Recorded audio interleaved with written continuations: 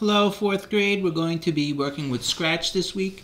And I want you to sign in when you're in Scratch. And I'm in a different account than you. Your account is going to be 21, your first name and your last name. So make sure you sign in. And if you go to the arrow here and you go to My Stuff, you could see your project from last week and any other things you do. So this week we're going to do a car parking game. So you're going to go over here and you write car parking. Okay? And when you want to save your work, you go File and you do Save Now. So the first thing you got to do is you got to delete the cat because we're not to use the cat. We're to use a car. So we click the garbage can. Cat goes away. Background. Okay, so go to background. Now I'm to show you how I'm to do it. You can make your own version of this game. It's totally up to you what type of scene you want to use. I'm to look for something that I can use with a car. So let's see if there's something I can use with a car. You could use this for a car if you'd like. Okay, so now I'm in my city background and I'm to draw in I want to draw in some of the lines here. So when I went over here, I went to drawing, and if I go here to the, the paint bucket, and then I'm going to click on my city here, okay? Now you could draw with this or you could draw with this and you pick the color that you like, which you want more yellow or less yellow. You see how it changes? So you pick the color that you like and you can maybe go like this way if you want as well. And I'm going to draw in some parking spots. So I got a parking spot over here. I got a parking spot over here. Okay, so I've got a parking spot over there. I got one spot here, I got one spot here, and even though this is a little bit up a little bit, I could draw another spot over here. And I draw another spot over here. Okay, so now I got my parking spots in here. Now I have to add cars in. So I'm going to go over here and I'm going to go to the little magnifying glass. And I'm going to go and I search for a car. And uh, let's let's use a food truck. Okay, so we got a food truck. The food truck's too big. So we're gonna make the food truck, maybe we'll make it 20. Let's see how 20 goes. Okay, we take a food truck and we're gonna put the food truck here. Okay, because somebody's gonna be parked there. Then we're gonna go over here again, we'll search, we'll put in a car, and we'll put in a truck. Okay, let's try 20 again. Size 20. Car's gonna, let's make that one a little bigger. Let's make it 30. Okay, so now I got a car there. And then let's put another car here. Search. Search again for a car. And you don't have to do it exactly like me. You could uh, come up with your own thing. Let's use um, let's use city bus. Okay, and let's make this let's make this 25. Now we got a bus in here. Okay, so and then what we're gonna do is we're gonna put something in here that's the target. So let's make this. Let's put in an apple in there. Okay, so we're going to put our apple in here. And we'll make our apple nice and small. Let's make our apple, let's make it 20. Okay, so now you got an apple in here.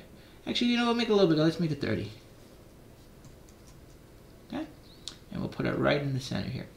So, we have four parking spots. One, two, three, four. Three of them have cars, and, and one has the apple. So you want the apple to be the one that you get. So let's add another one. And then you're going to pick the car that you want to be car and we'll use convertible. Okay, now we have our convertible here. Let's make it a little bit smaller to make the game work. So let's make it 20. So you notice I'm making all of them 20. Uh, maybe a little bigger. Let's make it 40. Let's try 40. And mm, 50, let's try. Let's try 50. Okay, so now we have our cars here. And now we have to control the game. So we want to make it that you cannot go into these cars, but that the game wins when you go into the apple. Okay, so let's see how to do that. So now we're going to make, make sure you're on the convertible because he's the one you have to control. Events, when clicked. Okay, so make sure you're on the convertible because he's the only one that's going to have code. When clicked, motion, go to. Now where do you want him to go to? We want him to start the game up here, which is negative 182, 152. They say negative, negative 182, 152. Okay? And then we're going to say, now here we have to control him, right? We're going to say forever loop. Forever loop. Forever. And then we do if then. So what do we want to happen? We want him to move. We're going to have him move 10 steps. When do you want him to move 10 steps? You go to sensing. Okay, go to sensing. And you're going to say if the right key is pressed. So you see I drag this in. Okay, so now we say if the right key is pressed, the right key is pressed, he's going to move 10 steps. So let's click the flag. Now when I click the right key, he goes 10 steps. Okay, looks good so far, right? Good. Now we have to make him go, um, now we have to make him go up, that he can make an up turn, or he can go down, or he can go to the left. So let's do this. Let's go to the side here, events, when clicked, and we're going to do almost the same thing. We're going to do control, forever, and we're going to do if. If then, if, and we're going to do sensing, if the left key is pressed. Now, if what are we going to do when the left key is pressed? We want them to go negative 10, because that's going to be to the left. Move negative 10. Negative 10. 10. Okay, so now let's look. Now we click the flag, he starts here, and I can go to the right, and I can go backwards. Okay, so now we got right and back.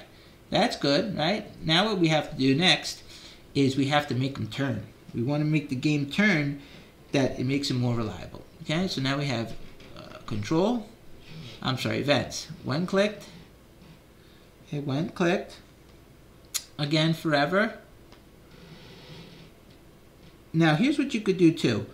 You could um, copy this. Uh, I'll show you that um, as well. If you want to copy this, if you do right click and you do duplicate, you could copy it. You see how I copied it? I do right click duplicate and copy it. Now I have it set up. I can go to my control again. If then, if then, if then, and what do we want them to do? If, we're going to go to our sensing and our keys. And we're going to say if the up arrow is pressed. And then here we do if the down arrow is pressed. Okay? So we have the up arrow and the down arrow. And what's going to happen? Well, when he does the up arrow, we want him to turn. We want him to turn right. And when the down arrow is pressed, you want him to turn left. Actually, you know, let's switch that. Let's make it that when he goes down, he goes to the right, and up will be to the left. I think that would be a little smoother. So now let's look. When we play, he can go right, he can go left. When the up arrow is pressed, he turns, and when the down arrow is pressed, he turns. So now we could turn with the up and down, and we can go left and right. Okay, so so far now we got him under control that he could drive, but now we want him to we want him to something to happen that he can't park in those spots, right? So now what we're going to do is you could zoom out a little bit if you want more space over here. And now what we want him to do is we want him that when he tries to get into the these ones over here, he can't do it. We want to make it that this blocks him when he goes into here. So let's do this now. We're going to do events, when clicked, events, when clicked, and we're going to do if then. So these are all conditionals. These are conditionals. Then we're going to do forever loop. So forever loop, and if then is a conditional. So conditional if then means if one thing happens, then you do this, right? If the phone rings, then pick it up. There's a condition. You don't pick up the phone unless it rings. If the phone rings, pick it up. So here's our conditional. Now, what do we want it to be? We want it to be that he cannot go past this truck. So we're going to say if sensing, touching, touching what? The, the truck, the ice cream truck, the scratch truck, the food truck. What's he going to do? He's going to move backwards 10 steps. So make this negative 10. Okay? So let's try it again. So now he goes here with the flag. But now I can move him, right? I can move him up and down. And I can move, move, move, move, move, move. And I can go like, like this. And now watch what happens when I go into the truck. Up, oh, he gets stuck. He gets stuck. Why? Because the code says if you're touching the food truck, move negative 10 steps. Now we're going to do this. Watch this. I do right click and I do duplicate. And what am I going to do? I'm going to take this. Oh, we have to have our forever loop in there. I'm going to take our forever loop. This didn't copy the whole thing. Let me, let me do it again. Do right click, duplicate, and now watch this. If touching food truck, I'm going to change this to if touching truck. And now he has, if he touches the food truck, he moves negative 10. If he touches this truck, he moves negative 10. Let's take a look. So now I go down. Oh, I can't go any further. Let me try and go to this one. Oh, can't go any further. Okay, so those two work. Then we do right click. Right click, duplicate. And then we're going to go to over here. And if he's touching the scratch tourist truck, and that's going to be the city bus. So now what do we want to do with the city bus? Same thing. Now when he goes, he goes down and we go up. Oh, let's see if I can. Oh, he's stuck. The last part of the game we need to do is we need it that he's got to get to the apple and it's going to win. So watch what we're going to do.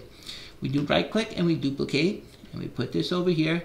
And if touching, if touching apple, what do you want to do if he's the apple? You don't want it to move negative 10 steps. You want him to say, you win. So now he's going to say, you win. Say, you win. Okay, so let's take a look at this again here. Let's take a look.